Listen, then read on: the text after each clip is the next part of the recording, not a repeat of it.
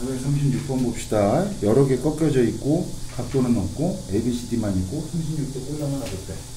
그때 A부터 D까지 구한 게 얼마냐고 물어보는 거야. 그래서 꺾어지는 부분에 평행선을 걷을 때 샵샵 샵샵 무슨 거? A가 왜?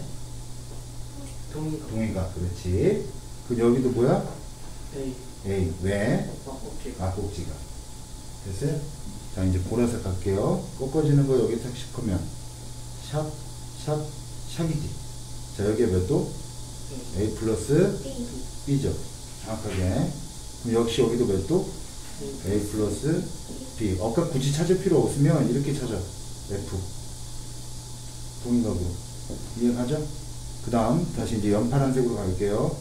이번에 동의각으로 한번 가볼까? 이렇게 한번 가보자. 됐어요? 그러면 여기가 A 플러스 B 플러스 C지? 그럼 여기가 뭐야? 그렇지. 이렇게 F로 본다면 A 플러스 B 플러스 C지. 아까 굳이 갈 필요는 없지 그냥. 그지? 그러면은 다시 빨간색으로 가면 여기 36도지. 여기도 몇 도야? 36도죠. 여기서 이렇게 쪼개도 돼 삼각형으로. 삼각형으로 쪼개서 봐도 되는데 굳이 보기 싫다면 여기 각도가 A 플러스 B 플러스 C 플러스 D지 그러니까 이해 가는 거야 그럼 Z 봅시다. 샵, 샵, 샥이지. 이해 가요 안 가요? 이거 Z는 안 보여?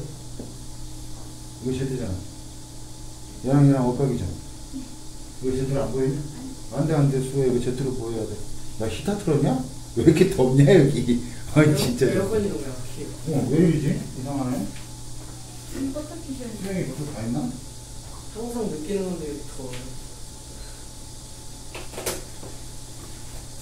그럼 여기가 몇 도라는 거야? A 플러스 B 플러스 C 플러스 D가 되겠지? 맞아 안 맞아? 그럼 A 플러스 B 플러스 C 플러스 D는 180에서 36만 빼면 되겠죠? 몇 도야? 144도 나오겠죠?